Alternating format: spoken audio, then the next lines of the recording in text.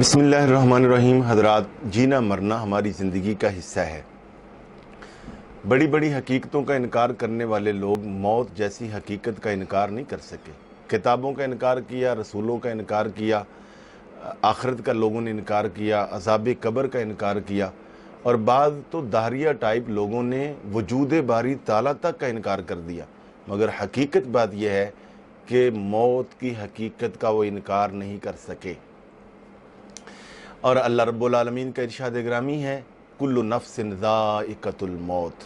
ہر نفس نے، ہر رجزی روح نے موت کا ذائقہ چکنا ہے۔ اور اس حوالے سے کوئی جتنا مرضی صحت افزا مقامات پہ رہ لے، جتنی واک کر لے، جتنی اچھی سے اچھی غذا کھا لے، اور جتنی ایزی ماحول میں رہ لے، اور اپنی جان اور اپنی صحت کی حفاظت کر لے، موت نے آنا ہی آنا ہے۔ موت ایک ایسا اسٹیشن ہے کہ جہاں کوئی اپنی گاڑی نہ بھی لے جانا چاہے تو یہ منزل ایسی ہے کہ یہ خود مسافر کو پا لیتی ہے۔ موت نے آنا ہی آنا ہے۔ یہاں تک فرمایا سورہ نساء میں، اینما تکونو یدرککم الموت ولو کنتم فی بروج مروج مشیدہ۔ فرمایا کہ، اے لوگوں، تم اپنے آپ کو بڑے بڑے کلوں میں بند کر لو۔ موت کے فرشتے نے وہاں بھی آ جانا ہے۔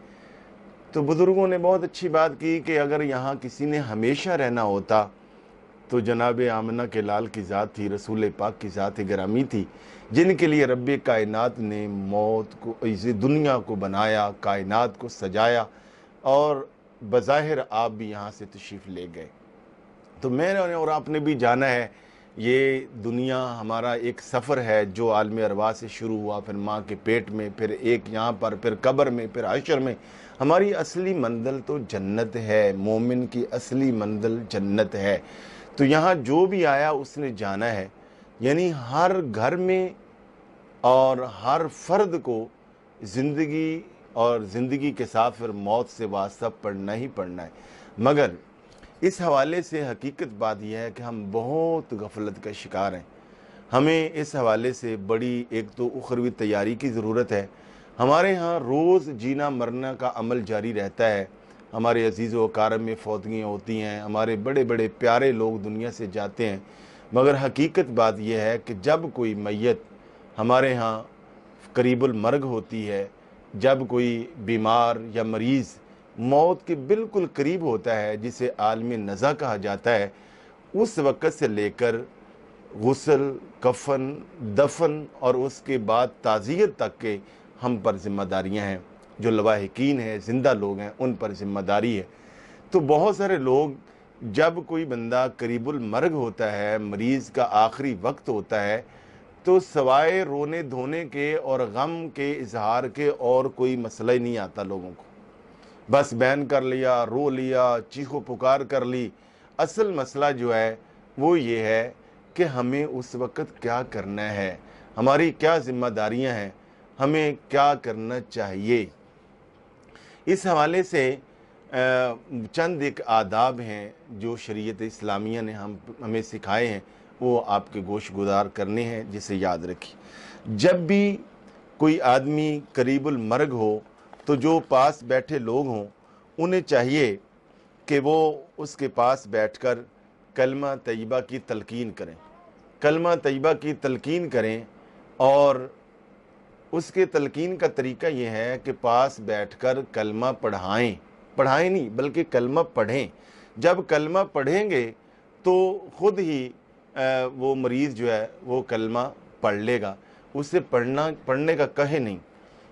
انہیں بالکل آرام سے آپ کلمہ پڑھتے رہیں، مریض خود پڑھ لے گا۔ جب ایک مرتبہ کلمہ پڑھ لے تو خاموشی اختیار کریں۔ چونکہ اگر بار بار کہیں گے تو اس وقت بڑی تکلیف کا وقت ہوتا ہے۔ کہیں ایسا نہ ہو کہ وہ تکلیف کی وجہ سے مریض کلمہ پڑھنے سے انکار کر دے تو یہ بہت بڑا نقصان ہو جائے گا۔ تو اسی طرح حضور نبی اکرم صلی اللہ علیہ وسلم نے ارشاد فرمایا اقرأ سورہ یاسین۔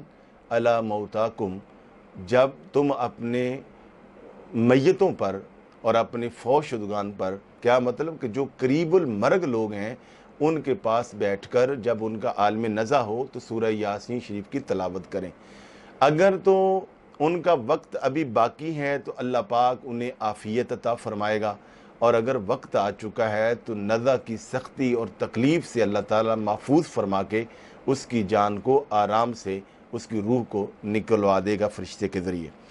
تو اسی طرح یہ بھی مسئلہ ہے کہ یہ تلقین کرنے والا شخص نیک آدمی ہو، پرہیزگار ہو، اور اگر نہ بھی ہو تو کوئی بھی عام آدمی بھی جو نمازی ہے، جو بلکہ کوئی بھی آدمی ہے، چاہے گناہ گار ہے، وہ بھی پاس بیٹھ کر تلقین کر سکتا ہے یعنی کلمہ طیبہ پڑھ سکتا ہے، کلمہ شہادت پڑھ سکتا ہے تاکہ میت کو کلمہ شریف یاد آ جائے۔ اور یہاں پر یہ بھی عرض کروں گا کہ یہ میت کی تجہیز و تکفین کے معاملے میں اور اس عالم نظر سے لے کر تعزیت تک اصول بنائیں کہ ہم نے شریعت کی رہنمائی کے مطابق چلنا ہے۔ ہمارے ہاں بہت ساری رسمیں چلتی ہیں اور ایک اٹکل پچو اور تیر اور تکے کا ماحول ہوتا ہے۔ نہیں، ایک ایک قدم پر اللہ کے رسول نے ہماری رہنمائی فرمائی ہے۔ جب کوئی بندہ فوت ہو جائے تو پھر اس وقت کیا کیا جائے؟ جب جان نکل جائے تو اس کو بالکل سیدھا لٹا دیں۔ اس کے ہاتھ سیدھے کر دیں، پاؤں ٹانگیں سیدھی کر دیں۔ پاؤں کے انگوٹھے اس طرح ملا کر آپس میں باندھ دیں اور اس طرح آنکھیں آہستہ آہستہ مل کے آنکھیں بند کر دیں، چہرہ بند کر دیں، منہ بند کر دیں اور ایک پٹی لے کر یہاں ٹوڑی کے نیچے سے لے کر سر سے لا کر ٹوڑی کے نیچے لا کر یہاں پہ باندھ دیا جائے تاکہ منہ کھلے نہیں۔ ہاتھ پاؤں سیدھے کر دیں اور اگر ہو سکے مناسب ہو تو دائیں طرف یعنی قبلہ رخ جو ہے وہ میت کا چہرہ تھوڑا پھیر دیا جائے۔ اور اسی طرح اس کے بعد پھر موت کی خبر جو ہے وہ بھی دی جائے۔ اور جسے موت کی خبر دی جائے، سن کر آگے سے کہنا چاہیے، انا للہ و انا الیہ راجعون۔ حضور نبی اکرم صلی اللہ علیہ وسلم نے ارشاد فرمایا، جو کسی مصیبت کے موقع پر یہ بندہ پڑھتا ہے، تو اس کو اللہ تعالیٰ تین طرح کا اجر عطا فرماتا ہے۔ ایک تو اس پر اللہ تعالیٰ کی طرف سے رحمت اور سلامتی اترتی ہے۔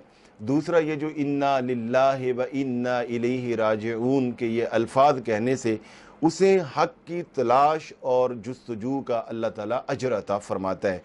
اور اسی طرح اس کے نقصان کی تلافی کی جاتی ہے اور اسے فوت ہونے والی چیز کا اس سے اللہ تعالیٰ اچھا بدل نعم البدل عطا فرماتا ہے۔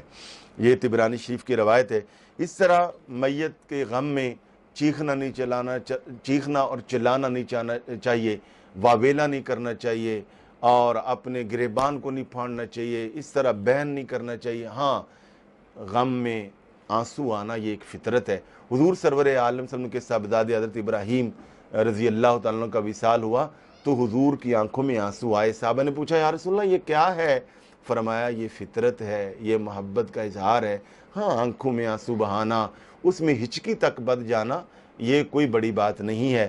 ہاں یہ ہے کہ یہ بین نہیں کرنا چاہیے، شکوہ نہیں کرنا چاہیے اور اس طرح کی بے صبری کا مظاہرہ نہیں کرنا چاہیے۔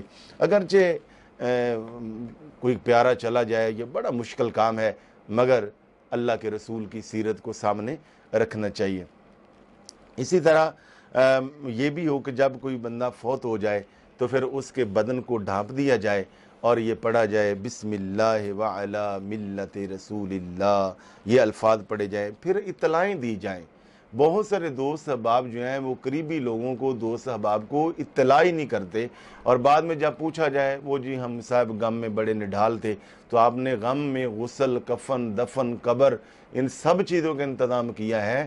تو قریبی عزیز و اقارب کو اطلاع دینا، مسجد میں اطلاع پہنچانا، اعلان کرنا، آج کل جو ہے وہ ٹیلی فون کے ذریعے میسیجز کے ذریعے، سوشل میڈیا کے ذریعے اس نیت کے ساتھ زیادہ سے زیادہ اطلاعیں کرنی کہ زیادہ سے زیادہ لوگ شریک ہوں گے تو ان میں نیک لوگ بھی ہوں گے، علماء بھی ہوں گے، بزرگان دین بھی ہوں گے، تو اس میت کی بخشش کا باعث بنے گا۔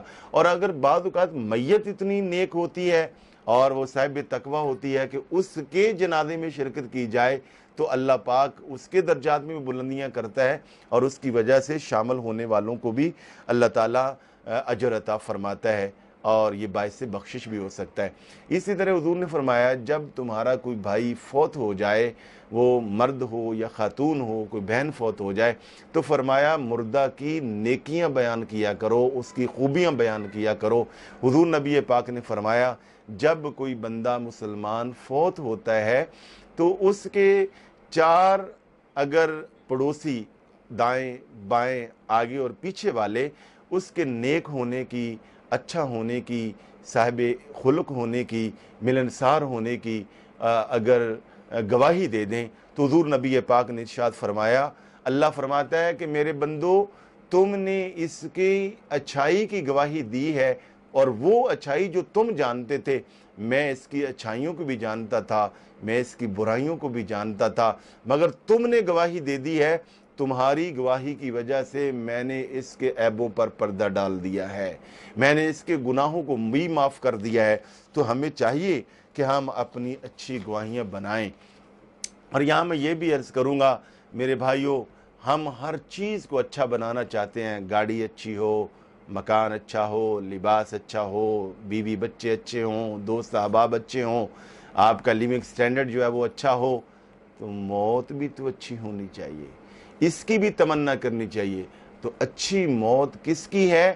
حضور نبی پاک نے فرمایا، من آخر کلامی ہی لا الہ الا اللہ فدخل الجنہ فرمایا، جس کا آخری کلام کلمہ طیبہ ہو گیا، کلمہ شہادت ہو گیا، اللہ کا ذکر ہو گیا، درود پاک ہو گیا۔ فرمایا وہ سیدھا جنتی ہے۔ تو یہ آخری وقت کوشش کریں، ہمیں کلمہ نصیب ہو جائے۔ یہ کلمہ آخری وقت نہ ذہانت سے ہوتا ہے، نہ فطانت سے ہوتا ہے، نہ حسن سے ہوتا ہے۔ یہ نہ جسمانی طاقت سے ہوتا ہے۔ یہ اس وقت کلمہ اسے یاد رہتا ہے جو زندگی میں کلمے سے پیار کرتا ہے، کلمے کے نظام کو اپناتا ہے، کلمے کے طریقے کے مطابق زندگی بسر کرتا ہے، کلمے کے تقاضے پورے کرتا ہے۔